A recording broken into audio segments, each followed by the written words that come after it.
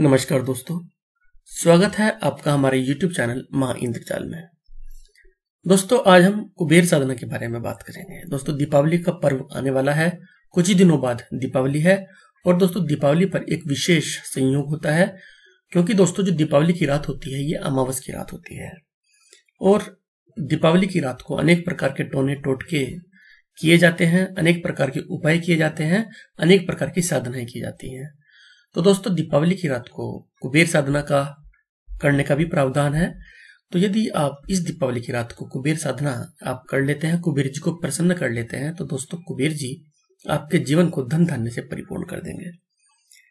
दोस्तों, जो साधना हम आपको बताने जा रहे हैं, ये अत्यंत सरल साधना है। कोई भी ग्रस्त व्यक्ति इस साधना को कर सकता है। लेडीज़ हो, जेंट्स हो, कोई बुज़ुर्ग हो, कोई जवान हो, कोई भी इस साधना को कर सकता है। दोस्तों, जो कुबेर जी हैं, इन्हें देवताओं को कोषाध्यक्ष, यानी खजांची कहा जाता है। तो यदि आप चाहते हैं कि माता लक्ष्मी की कृपा आपके ऊपर हो तो आपको देवताओं के कोषाध्यक्ष कुबेर जी को भी प्रसन्न करना आवश्यक होता है। दोस्तों, कुबेर जी की साधना करने के लिए कुछ चीज़ों की आपको आवश्यकता होगी, जो आप पहले से ही आप अरेंज कर लें। अब, अभी दीपावली में काफ़ी समय है, लगभग दस पंद्रह दिन का समय है तो आप कुछ चीज़ों को अरेंज कर लें। दोस्तों, सबसे जो इम्पोर्टेंट चीज़ है जो आपको लेकर आनी है, वो है श्री कुबेर यंत्र। ये आप, जो पूजा शॉप होती है, वहाँ से आपको मिल जाएगा। आप इसको ऑनलाइन ऑर्डर करके भी मंगा सकते हैं। लेकिन यदि आप चाहते हैं कि आप ये बाज़ार में, जहाँ पे आप रहते हैं, जिस सिटी में रहते हैं, वहाँ आपको नहीं मिल पा रहा है या आप ऑनलाइन नहीं मंगाना चाहते तो आप एक काम कर सकते हैं। आप इस यंत्र को आप देख लीजिए कैसा है। आप इसकी फ़ोटो खींच लीजिए। या आप स्क्रीन शॉट ले लीजिए अपने मोबाइल से और इसका प्रिंट निकलवा लीजिए। प्रिंट निकलवा कर इसको आप किसी फ्रेम में आप जड़वा लीजिए। तो भी ये बिल्कुल काम करेगा, क्योंकि यंत्र का मेन उद्देश्य जो है, वो यही होता है कि जो यंत्र पर जो आकृति बनी हुई है, जो चिन्ह बने हुए हैं, वो स्पष्ट दिखाई देने चाहिए। कोशिश यही करें कि आपको कुबेर यंत्र मिल जाए और यदि कुबेर यंत्र आपको ताम्र पत्र पर खुदा हुआ मिल जाए तो वह सर्वश्रेष्ठ होता है। लेकिन यदि साधारण कुबेर यंत्र भी आपको मिल जाए तो भी चल जाएगा। दोस्तों, कुबेर यंत्र लेने के बाद आप एक चौकी लें। चौकी के ऊपर आपको सफ़ेद कपड़ा बिछाना है। सफ़ेद कपड़ा बिछाने के बाद चौकी पर आपको कुबेर यंत्र स्थापित करें और कुबेर यंत्र स्थापित करने के बाद कुबेर यंत्र के सामने आपको चौकी के ऊपर आपको जो आप यंत्र देख रहे हैं, आपको इस यंत्र को भी बनाना है। इस यंत्र को सर्वतोभद्र चक्र कहा जाता है। जब आप इस यंत्र को बना देंगे, कुबेर यंत्र के सामने उसके पश्चात इस यंत्र के चारों तरफ़, जो यंत्र आप अभी चित्र में देख रहे हैं, इस यंत्र के चारों तरफ़ आपको 11 दीपक जलाने हैं, और जो दीपक है वो मिट्टी के होने चाहिए, और उनमें आपको सरसों का तेल आपको भरना है। पाँच दीपक इस यंत्र के एक साइड में, यानी उत्तर दिशा वाली साइड में, और जो पाँच दीपक हैं वो दक्षिण दिशा वाली साइड में आप रख दें, और जो एक दीपक है वो यंत्र के आगे, जहाँ पर पूर्व दिशा लिखा हुआ है, उसके आगे यंत्र के आगे रख दें। यानी जो कुबेर यंत्र था, उसके आगे रख दें। इस प्रकार ग्यारह दीपक आप जला दें। इसके पश्चात दोस्तों, कुछ सामग्री आपको बाज़ार से लेकर आनी है। ये बहुत ही सरल सामग्री है, आपको आसानी से मिल जाएगी। साबुत मूंग की दाल, जो कि हरे रंग की होती है, चने की दाल, चावल उड़द की दाल, जिसे माह बोलते हैं माह की दाल बोल देते हैं। और जो साबुत मछली होती है, जो लाल रंग की दाल होती है, साबुत मछली ये पाँच प्रकार के अनाज हैं, ये आपको लेने हैं। इसके पश्चात जो विधि आपको बताई बताई जा रही है, उस विधि को आप ध्यानपूर्वक सुने। सबसे पहले आप क्या करें, जैसे आप चित्र देख रहे हैं, आपको ये चित्र बनाना है। चित्र किस तरीके से बनाएँगे, वो आप ध्यान से सुन लें। आप एक फुट बाय एक फुट का आप एक गत्ता ले लें। आपके घर में कोई गत्ते का डब्बा पड़ा होगा पहले से ही तो आप उसको काट लें और उसका चकोर टुकड़ा, एक फुट बाय एक फुट का, आप उसमें से काट कर निकाल लें। और उस टुकड़े के ऊपर आप सफ़ेद रंग का जो कागज़ होता है व्हाइट पेपर वो आप चिपका दें। और उस पेपर को जब वो सूख जाए अच्छी तरीके से, उसके पश्चात जो चित्र आप अभी देख रहे हैं, बिल्कुल आपको ऐसा ही चित्र बनाना है। इस चित्र में ऊपर की तरफ़ पूर्व नीचे की तरफ़ पश्चिम बाई और उत्तर, दाई और दक्षिण। इस तरीके से आपको लिखना है। बीच में जिस तरीके से आप ये त्रिभुज की आकृति देख रहे हैं, दो त्रिभुज एक दूसरे को काट रहे हैं, ये आपको बनाने हैं। बीच में आपको स्वास्थ्य का चिन्ह बनाना है और स्वास्थ्य के चिन्ह के ऊपर की तरफ़ ओम और नीचे की तरफ़ श्री लिखना है। इस चक्कर के चारों ओर जो गोले देख रहे हैं, ये आपको गोले नहीं बनाने हैं। यहाँ पर आपको वास्तव में ढेरिया रखनी है, अनाज की। जो पाँच प्रकार के अनाज हम, हमने अभी आपको बताए हैं उन अनाज की ढेरी आपको यहाँ पर रखनी है। कैसे रखनी है? पूर्व के नीचे आप एक अनाज की ढेरी रखते हैं, कोई सा भी अनाज, चावल, काली दाल, लाल दाल, चने की दाल, कोई सी भी दाल, किसी भी दाल की, किसी भी अनाज की ढेरी आप इन चारों गोलों में जो चारों गोलों बने हुए हैं, इन गोलों के ऊपर आप रखते हैं। एक गोले के ऊपर आप उड़द की दाल रख दें, दूसरे जो गोला बना हुआ है वहाँ पर आप चावल रख दें, तीसरा जो गोला बना हुआ है वहाँ पर चने की दाल रख दें और जो चौथा गोला बना हुआ है, वहाँ पर आप मूंग की दाल रख दें और जो बीच में जो स्वास्तिक का जो चिन्ह बना हुआ है, यहाँ पर जो बाकी जो अनाज बच जाए बच जाए पांचवा, वो अनाज यहाँ पर आपको रख देना है। दोस्तों, एक बात का आपको ध्यान रखना है, विशेष ध्यान रखना है। जो अनाज आप प्रयुक्त करेंगे, जो भी दालें आप प्रयुक्त करेंगे, ये आपको बहुत थोड़ा थोड़ा लेना है। पचास पचास ग्राम आपको लेना है, ज़्यादा नहीं लेना है। और प्रयोग करने से पहले आप दिन के समय, आप इसमें से जो टूटे फूटे जो दाने हैं अनाज के, वो निकाल कर आप फेंक दें क्योंकि किसी भी पूजा में, पूजा कोई सी भी करें, कोई सी भी साधना करें, उसमें खंडित अनाज का प्रयोग नहीं किया जाता है। तो जो अनाज के दाने हो, चावल के दाने हो, चाहे दाल के दाने हो, वह अखंडित होने चाहिए, साबुत होने चाहिए। तो जो खंडित अनाज है, उसे आप निकाल दें और जो अखंडित अनाज है, उसको ही आपको, जो यंत्र आपके सामने यहाँ पर आपको रखना है। इसके पश्चात आप जहाँ उत्तर लिखा हुआ है, आप ऊपर की तरफ़ देखिए, जहाँ उत्तर लिखा हुआ है, एक सांप बना हुआ है।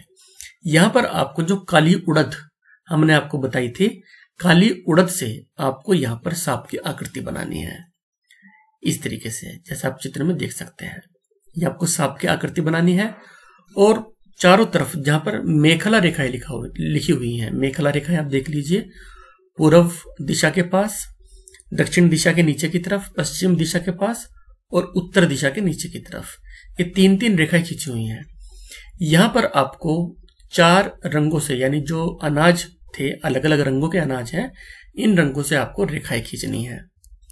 दोस्तों, विधि को बड़े ध्यान से सुनना। कुछ भी आप मिस ना करना, कुछ भी मिस कर दोगे, गलती कर दोगे तो जो साधना है, वो फलीभूत नहीं होगी। फिर आप हमें कहेंगे कि गुरुजी, साधना फलीभूत नहीं होती है। सफ़ेद लाल, काली और हरी। इन रंगों से आपको ये चारों मेखला रेखाएँ बनानी है। यानी जहाँ पर पूर्व लिखा हुआ है, यहाँ पर आप चावल से तीन रेखाएँ बना दें। चावल सफ़ेद रंग के होते हैं तो सफ़ेद रंग की रेखाएँ हो जाएँगी। जहाँ पर दक्षिण लिखा हुआ है, इसके नीचे जो मेखला रेखाएँ हैं, यहाँ पर आप जो लाल रंग की जो दाल हमने आपको बताई थी, साबुत मछली की, आप उससे रेखाएँ बना दीजिए। इसी प्रकार जो हरी और काले रंग की दाल है, उससे आप रेखाएँ बना दीजिए। कहीं पर भी किसी भी रंग की आप रेखा बना सकते हैं, किसी भी अनाज से आप रेखा बना सकते हैं। इससे कोई फ़र्क नहीं पड़ता है। और जहाँ पर सांप की आकृति बनी हुई है, यहाँ पर आपको जो उड़द थे, उससे आपको सांप की आकृति बनानी है। दोस्तों, इतनी क्रिया करने के पश्चात आपको कुबेर यंत्र को प्रणाम करना है और कुबेर यंत्र को आपको दूध से स्नान कराना है। इसके लिए आप जो कच्चा दूध होता है गाय का, वो आप थोड़ा सा कटोरी में अपने पास रखें और हाथ में लेकर हल्के हल्के छींटे। कुबेर यंत्र पर आप दे दें, छींटे दे दें, कच्चे दूध के। इससे कुबेर यंत्र का स्नान हो जाएगा। इसके पश्चात आपको एक विनियोग मंत्र बताया जा रहा है। इस मंत्र को आप ग्यारह बार पढ़ेंगे। मंत्र इस प्रकार है। अस्य कुबेर मंत्रस्य विशर्वा ऋषि व्रति छंद शिव मित्र धनेश्वर देवता दरिद्रय विनाशने पूर्ण समृद्धि सिद्ध्यर्थे जपे विनियोग। है दोस्तों, विनियोग का मतलब होता है कि जो भी आप साधना करने जा रहे हैं, आप उस साधना को आप आह्वान कर रहे हैं उस साधना का। ताकि जो वातावरण है, वातावरण में, ब्रह्मांड में जो गुप्त शक्तियाँ हैं, वो आपकी सहायता करेंगी उस मंत्र को या उस यंत्र को सिद्ध करने में। दोस्तों, इस मंत्र को आप जैसा लिखा हुआ है, वैसे ही आप इस मंत्र को जाप करें, बिल्कुल भी गलती ना करें। अन्यथा ये जो जो भी आप साधना कर रहे हैं, ये फलीभूत नहीं होगी। विनियोग करने के पश्चात आपको मंत्र का ध्यान करना है। ध्यान किस तरीके से करना है? आप सबसे पहले आँखें बंद करके आप बैठ जाएँ और कुबेर जी का आप मन में चिंतन करें, उनका ध्यान लगाएँ। उनका ध्यान करने के पश्चात आपको जो मंत्र बताया जा रहा है, इस मंत्र का आपको ग्यारह बार जाप करना है मन ही मन में। मनुज बाहु विमान वर स्थितम गरुड़ रत्न भीम निधि नायकम शिव शंख मुकुटादि विभूषितम वर्ग दे दत्तम, मन तुरदिलम। मंत्र दोबारा सुन ले। मनुज बाहु विमान वर स्थितम गरुड़ रत्न भीम निधि नायकम शिव शंख मुकुटादि विभूषितम वर्गदे दत्तम, मन तुरदिलम। दोस्तों, इस मंत्र को जैसा लिखा हुआ है, वैसे ही आप नोट कर लें। हो सके तो इसको याद कर लें और इस मंत्र का आप ग्यारह बार जाप करें। यह आपका ध्यान हो जाएगा। ध्यान करने के पश्चात अब आप आगे की साधना करें। दोस्तों, विनियोग और ध्यान के पश्चात, अब जो श्री कुबेर यंत्र है, हम इसको सिद्ध करेंगे। अर्थात श्री कुबेर यंत्र को प्राण प्रतिष्ठित करेंगे। कोई भी यंत्र जब तक प्राण प्रतिष्ठित ना हो, तब तक वह कार्य नहीं करता है। प्राण प्रतिष्ठित करने का अर्थ होता है किसी भी यंत्र को सिद्ध करना। तो दोस्तों, अब हम श्री कुबेर यंत्र को सिद्ध करेंगे, इनको प्राण प्रतिष्ठित करेंगे। प्राण प्रतिष्ठित करने के लिए जो मंत्र आपको बताया जा रहा है, आपको इस मंत्र को एक हज़ार अस्सी बार आपको पढ़ना है। ओम श्रीम ओम ह्रीम श्रीम ह्रीम क्लीम श्रीम क्लीम वित्तेश्वराय नमः। दोस्तों, ये मंत्र है, इस मंत्र का आपको एक हज़ार अस्सी बार यानी कि जो दस मालाएँ हैं, दस मालाओं के समान आपको इसका जाप करना है। मंत्र आप दोबारा सुन लें। ओम श्रीम ओम ह्रीम श्रीम ह्रीम क्लीम श्रीम क्लीम वित्तेश्वराय नमः। दोस्तों, ये मंत्र कुबेर जी का प्रिय मंत्र है। जब आप इस मंत्र को एक हज़ार अस्सी बार जाप करेंगे तो यह जो यंत्र है, श्री कुबेर यंत्र है, यह सिद्ध हो जाएगा। दोस्तों, इसके पश्चात मंत्र को सिद्ध करने के पश्चात, जब आप इस यंत्र को सिद्ध कर लें तो यंत्र को सिद्ध करने के पश्चात एक मंत्र आपको बता रहे हैं। इस मंत्र का भी आपको 108 बार जाप करना है। मंत्र इस प्रकार है। ओम यक्षाय कुबेराय, वै श्रवणाय, धन धान्याधिपताय धन समृद्धि में देही दाप्य स्वाहा। साधक अपना नाम ले, जहाँ पर यह लिखा हुआ है, वहाँ पर आपको अपना नाम लेना है। यह यंत्र, जो ये मंत्र है जो आपको बताया जा रहा है यह मंत्र भी आपको 108 बार जाप करना है। मंत्र दोबारा सुन ले।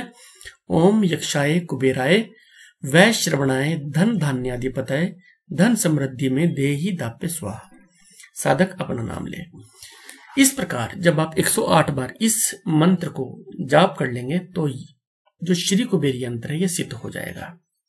इसके पश्चात दोस्तों, श्री कुबेर यंत्र को आप पूजा स्थल पर ही छोड़ दें। दोस्तों, ये साधना किस समय करनी है? जिस समय आप दीपावली की रात को लक्ष्मी पूजन कर लेते हैं तो लक्ष्मी पूजन करने के पश्चात आप श्री कुबेर यंत्र की साधना करेंगे, श्री कुबेर यंत्र को सिद्ध कर लेंगे। क्योंकि जो लक्ष्मी की साधना है, उनका एक समय होता है, जो मुहूर्त होता है साधना का पूजा करने का। उस मुहूर्त में तो आप लक्ष्मी जी की पूजा ही करें, जो भी पूजा करते हैं। कुबेर यंत्र को भी आप उस पूजा में रख लें। और जब आप पूजा कर लें तो पूजा करने के पश्चात इस साधना को आप कर लें। इस प्रकार जो श्री कुबेर यंत्र है, वह सिद्ध हो जाएगा। इस यंत्र को सिद्ध करने के बाद आप पूजा स्थल पर ही छोड़ दें और अगले दिन इस यंत्र को उठाकर आपका जो पूजा का कक्ष है, वहाँ पर आप इसे रख दें। और प्रतिदिन शाम के समय आपका जो मंत्र जो हमने आपको बताया था, इस मंत्र को आप 108 बार यानी एक माला आप प्रतिदिन सूर्य कुबेर यंत्र को देखते हुए आप ज़रूर जपें। इससे कुबेर जी की कृपया आपके ऊपर होगी और वह आपके जीवन में धन, धान्य, यश, वैभव कीर्ति को जो है, वो अवश्य बिखेरेंगे। इस प्रकार आपकी जो कुबेर साधना है, वो संपन्न हो जाएगी। तो दोस्तों, ये अत्यंत सरल साधना है। इसमें कुछ सामान है छोटा छोटा बस आपको वो लेकर आना है, वो अरेंज करना है। और अब इस साधना को अवश्य करें, जिससे कुबेर जी की कृपया आपके ऊपर हो और आप जो है, धनवान हो जाए और आपकी आर्थिक समस्या, आर्थिक किल्लत दूर हो जाए। दोस्तों, इस वीडियो को आप अधिक से अधिक शेयर करें उन लोगों के साथ जिनको आर्थिक समस्या है, ताकि और लोगों का भी भला हो सके। दोस्तों, इस वीडियो को लाइक करें, शेयर करें और हमारे चैनल को सब्सक्राइब करें। जय माता दी।